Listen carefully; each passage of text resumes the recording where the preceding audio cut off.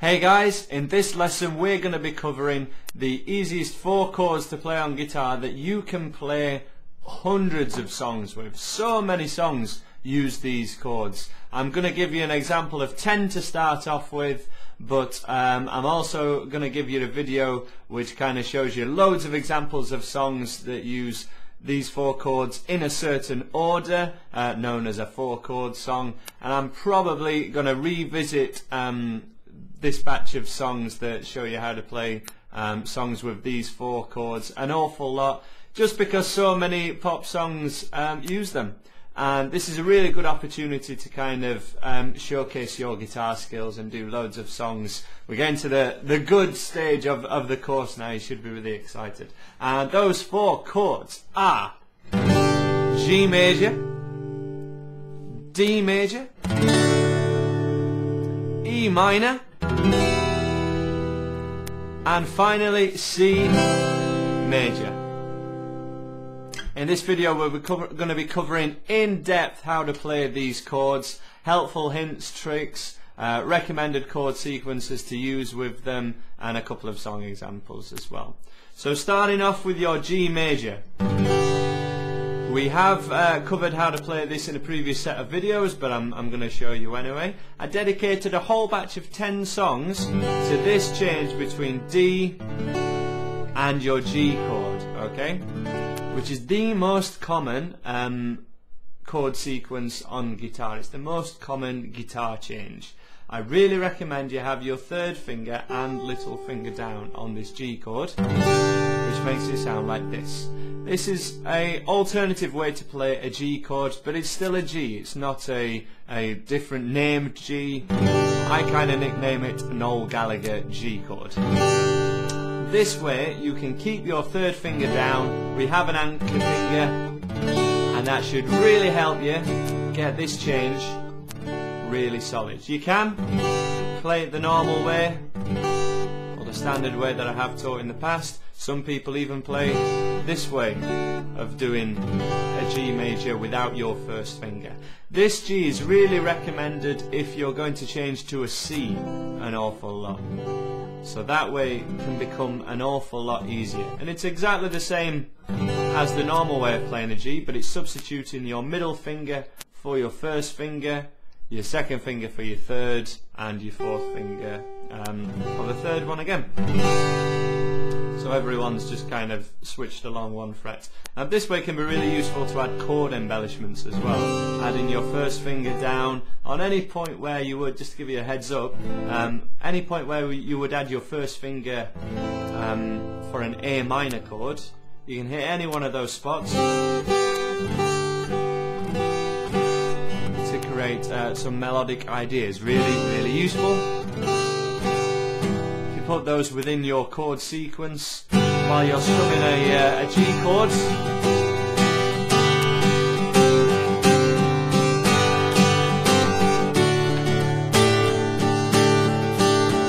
It can be really useful. Um, from your D chord to an E minor chord, there's no real um, cheating way to do that or there's no helpful way that I can give you.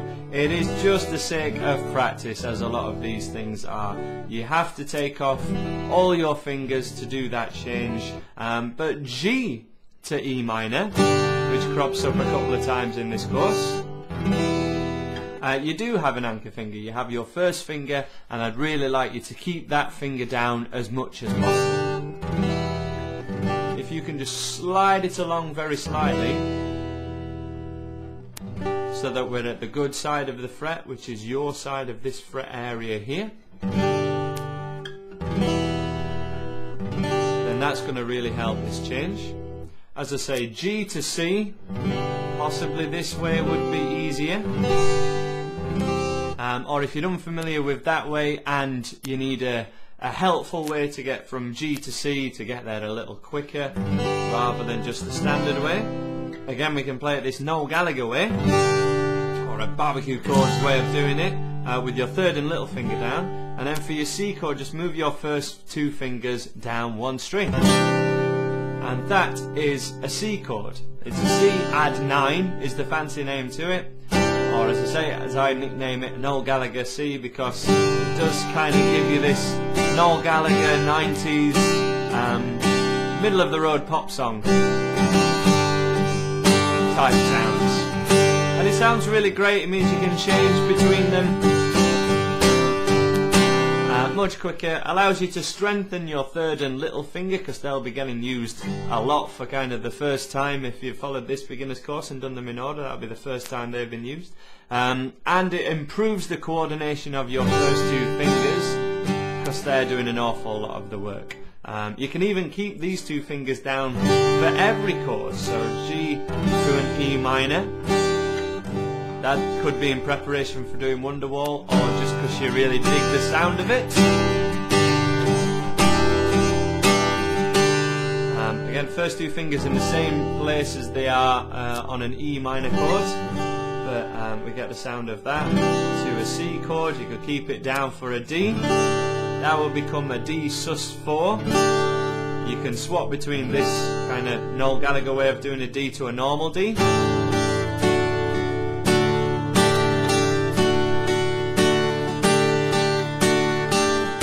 And if you go to that D sus4, which is the name of this chord where you, the Noel Gallagher way of doing it, then to a G, it can really help that change as well, D to a G. Go to your little finger early and G. Could be kind of three steps there to your, for a, D to a G change. One a D, two a D sus4, and you're kind of walking back down your fretboard um, to get there can be very handy. Um, and I think that's every permutation um, of your, your chord sequences gone. Some recommended chord sequences that are really good. I've done uh, a whole video on a four chord song that's going to be coming up real soon. Uh, the link I'll, I'll, put the link up now to show, demonstrate a whole batch of songs um, that use the same four chords in this order.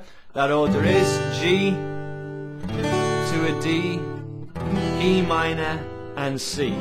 And if you do those chords for a bar of each, so G, 2, 3,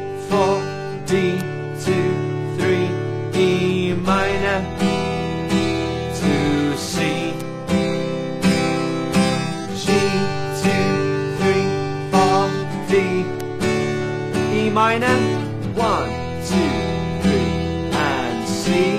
One more time. Uh, if you struggle with this chord sequence, just do one strum at the start of every bar. So from the top of that chord sequence, if you can strum uh, a high level strumming pattern, go for it, but join in with me from your G chord in two, three, four. G, two, three, four. G, two, three, E minor, two, three, and C. One more time. G, two, three, four. G, two, three, E minor, and then a C. Really cool pop chord sequence used in With or Without You, uh, With or Without You, sorry, uh, Wherever You Will Go, um, loads of loads of songs use that one as I say, check out the video that I've, I've made for you. Um, another common chord sequence for kind of more older pop songs, generally it's still used today but this is very useful for um, for kind of 60s and 50s pop songs. G for a whole bar to E minor and then C to your D. That could be, you know, love hurts, love hurts, do, do, do. It's kind of like a ballad thing, you know. Oh, my love, my darling, I've hungered for your touch. Um, so many songs, you know. Stand by me, oh stand by me, just as long as you stand, stand by me. Really common um, order of your chords. Um, you could even do um, the order from before, but start on your E minor. So E minor for a bar, then C, and a G to a D in fact, absolutely any permutation of these chords you can play and it will exist as a song somewhere. You will probably play these chords and recognize it and go, ah, that sounds like that song.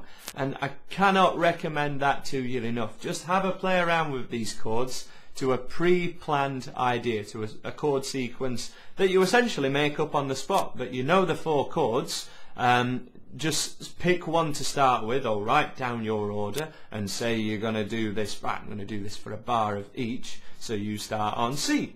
And do that for a bar and then go to E minor. And then go to G. And finally a D. And you do that same one again C,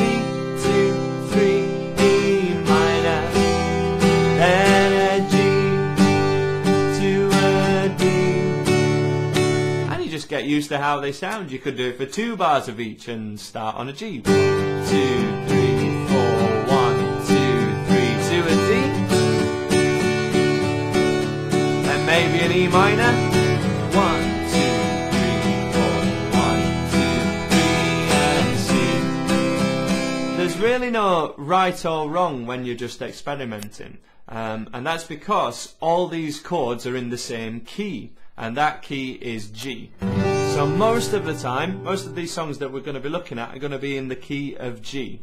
And then if um, you're at the point where you can do some lead guitar, um, you could play um, over these chords. Or you can get a friend of yours who you want to jam with who's you know maybe a little bit better than you. Um, he can you know jam along and you you guys can play together because you know what key you're in. And you can tell him look I'm in the key of G. And he can play some uh, G major scale notes over the top of this and it will sound very complementary G pentatonic major pentatonic is another option as well. And um, it's really useful to be able to play with other people. And this idea of keys is kind of fundamental to the idea of playing with other people when you haven't got specific songs to do when you haven't got you know hours and hours to practice some songs. Stay in a key and you'll know exactly what you're doing. Um, okie dokie. So check out the rest of the songs in this playlist or click the link uh, below in the description to uh, go to my website where you'll see all these chords um, and songs laid out in the correct order that they should kind of be uh, be learnt in. So the first one will be the easiest and the last ones down the bottom will be harder. Uh, check out the four chord song video which I will put a link up to now. And um, I will see you in another video. Please subscribe if you like what I do. I'm sure I'll see you again